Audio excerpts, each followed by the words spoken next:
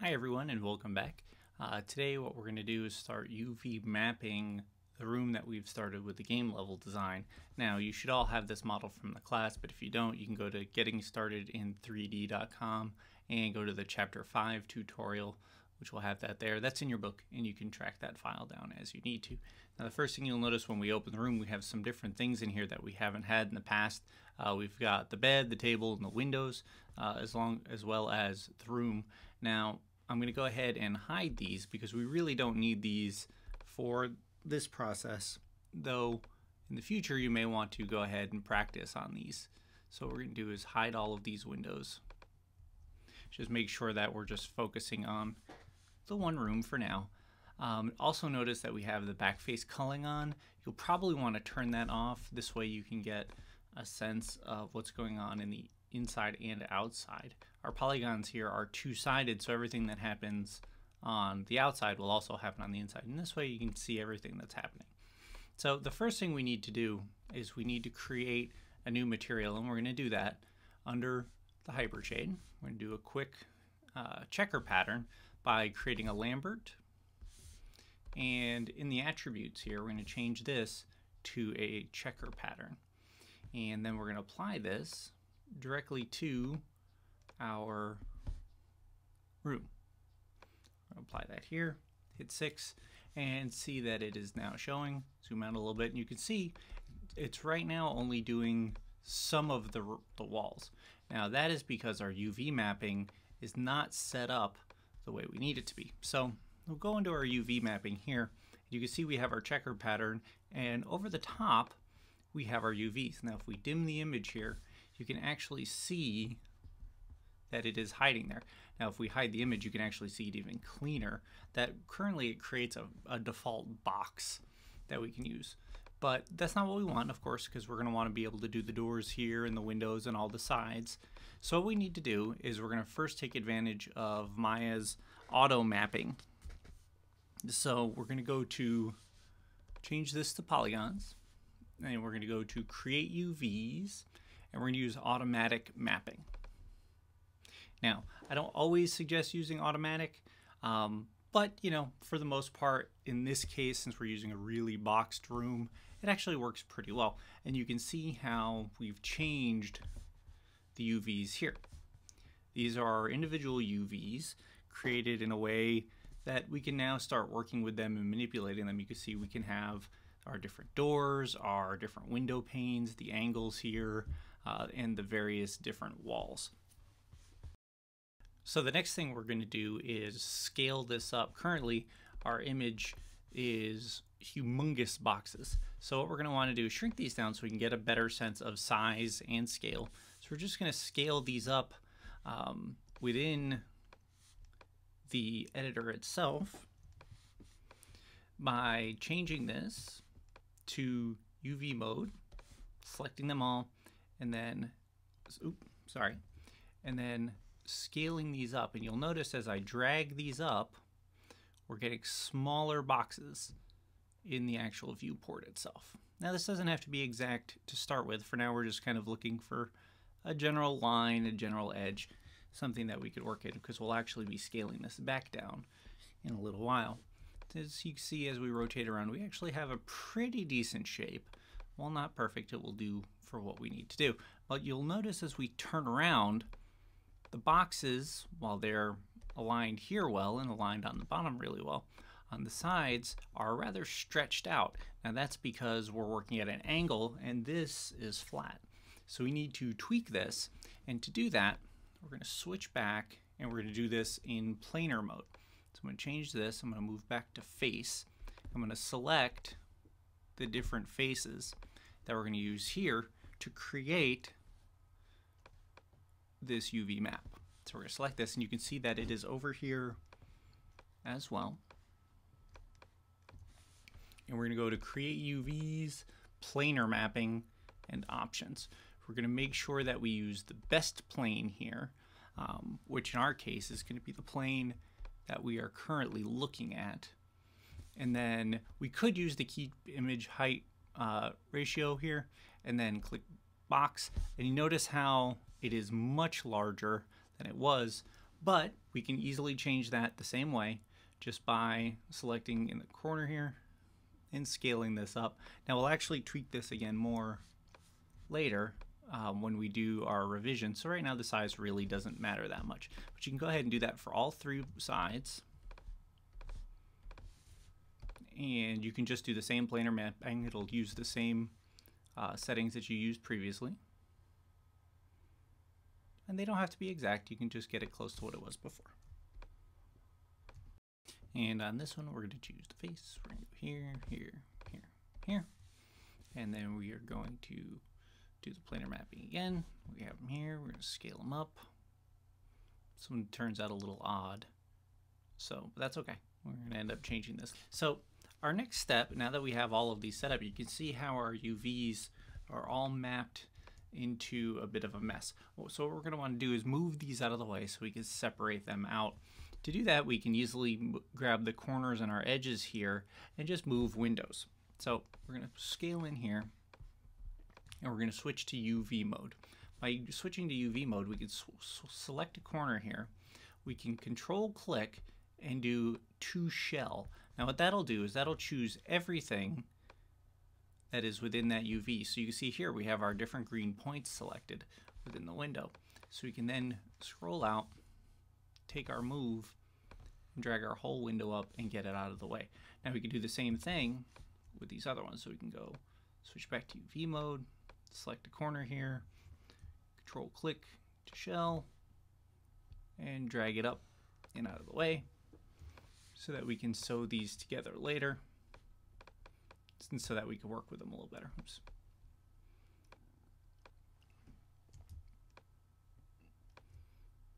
and drag that one over there. And then the same thing for here. Control click to shell, up and over. Now you notice our windows are a lot of different sizes, but that's okay because again, we're gonna tweak that and change that.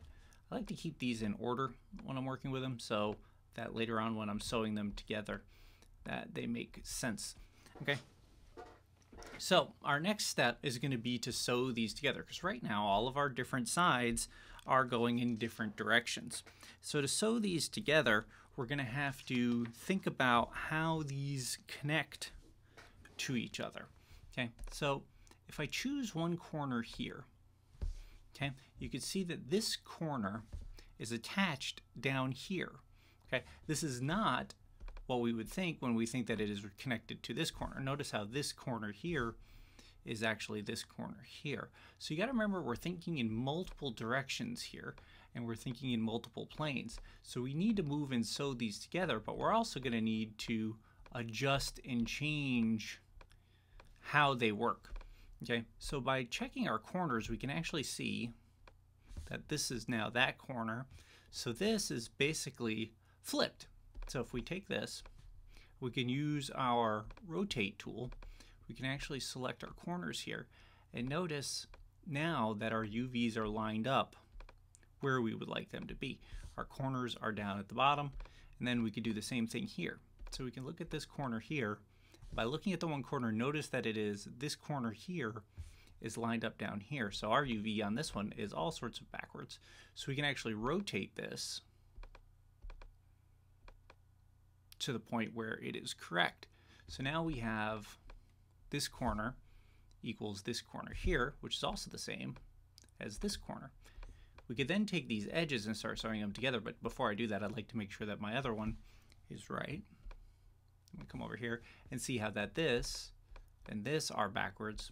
I can take these and flip them, and now that top corner is the same as this top corner.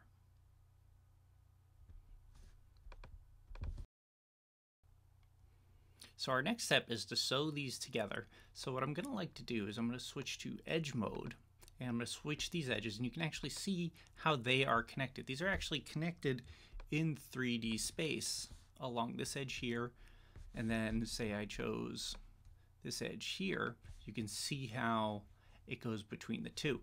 So what we can do is we can actually just select that single edge, go to polygons, move and sew edges and that will attach these together. We're to do the same thing here, polygons, move and sew edges. And there we have it. Now our edges are all connected. If I connect, collect all of these and try to move them, I can actually move the individuals and these will stay together in one group. And you can see that happening over on the side. Now, while those are all sorts of bent and warped, we can very simply take these polygons and then align. We can align these same way. Same thing here. And same thing at the bottom here. And that's a nice easy way to make sure that all of our squares are perfectly lined up. They're a little warped right now, but we'll still we've still got a lot of tweaking to do and we will get those edges a little bit better as we go because you can see right here those are still off. Didn't get those lined up. See, now there we go. So now we're lined up pretty well. It's not fantastic, but it's a start. You can see how our edge here is a little short of where we'd like it to be, and these this one's a little wider than the other ones. We can actually now move these and uh, tweak the settings as we feel we need to. But for now, like I said, we're at a good point. We need to go ahead and move our walls, which are on the sides here. We have this and this connected.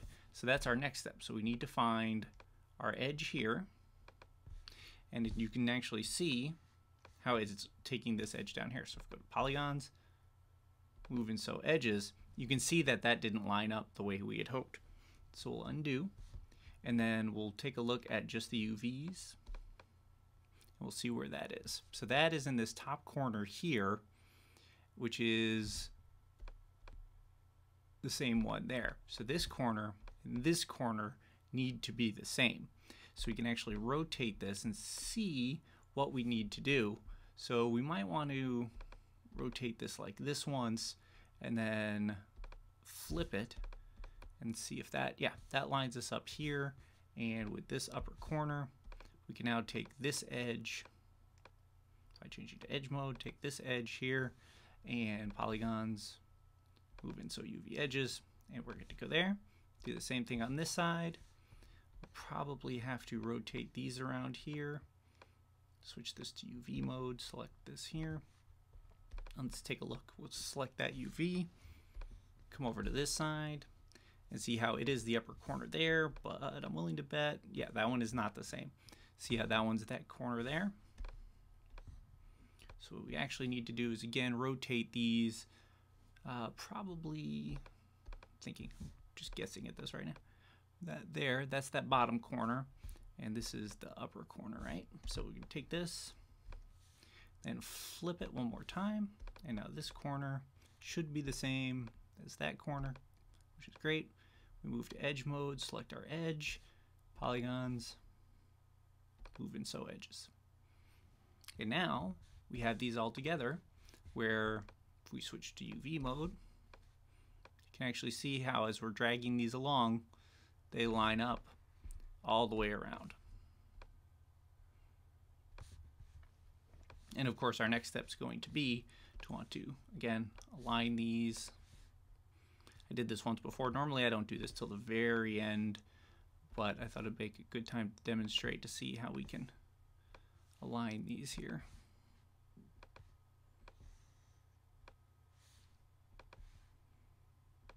And there you go. And now we have a nicely aligned boxes. We have a little bit of warping going on here, but that's nothing too major at the moment. That's something we can adjust uh, later on. It comes down to the size of these windows,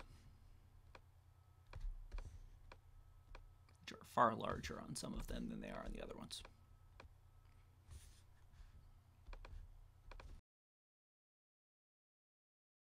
Our next goal is to convert these in some way that we can actually fit these all into this one pattern, keep them a, a typical size so that our scaling that we've been working so hard at stays the same. So what we're going to do is we're going to highlight over all of these and we're going to scale these down. And we're going to try to get these as close as possible to fitting within our box. Now you can see already we've got problems that this one is inverted. This is our door into the room. So we can just flip this back over. And this being our floor and our ceiling, I'm going to want to get these facing in a direction that we can get them snug in here a little bit better, and I'll show you why that is here in a moment. I'm going to line up these here. line up this here. This is appears to be that other top of the window. So move that there. Take all of these, slide these over. We'll squeeze these in at the end. And this, even though this isn't really where this goes, it's still okay that we can kind of fit that in. Again, we're going to select all of these, scale them down, and try to get them within here. Now we could take and just move these in here one by one and leave some extra space, but the goal is really not to leave any extra space if we could at all help it. So what we can do here is we can actually cut these edges and move some of these. So I'm going to switch to edge mode and I'm going to select this edge here. Now we have this attached to these windows here, but we can attach it to the other side of the room. That's that edge. We can actually attach it on the other side. So what we're going to do is go to polygons and we're going to cut the UV edge. Now what that's going to allow us to do is move this to the other side. So if we select this edge here, all right, we can actually see how that's lined up there. We can select this edge here. It lines up with that one. We can actually move and sew these edges. And of course we have that same problem we had before where it's not exactly lining up where we would like it to. So again, let's select the, we're gonna undo. We're gonna move this back there. We're gonna move this over here. I actually like to turn the image off here so we can actually get a nice view of what we're looking at. Take our edge, actually change this to the UV mode so now that we know that this is separated, we can again control to the shell, move this away from what we had. Now we can look at our corner. So our corner is there, and that corner should be the same. So this corner and that corner. So all we need to do is take this and flip it. So now this corner and oop, this corner are the same. We can select the edge and move and sew. And there we go.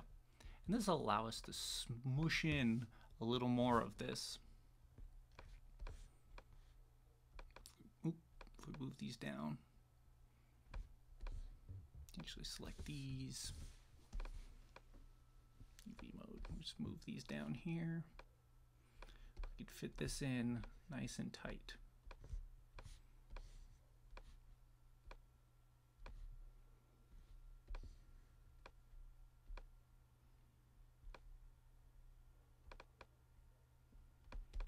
And then take these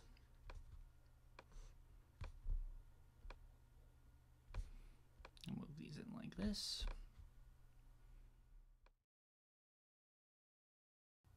And this end here is just to give you an idea of where I ended up. Um, I did a quick align of a lot of these. They're not, again, not perfect, um, but quick for this tutorial. Showed you how I filled up this entire block here. This entire goal is to fill this block here, which will then export and be able to use in Photoshop. So this will show you here. I'll just I'll close that out so you can actually see. But this is exactly what we're looking for. I even left a little extra room here in case I wanted to put a sign on the door that said exit or warning or something of that nature. Okay, thank you.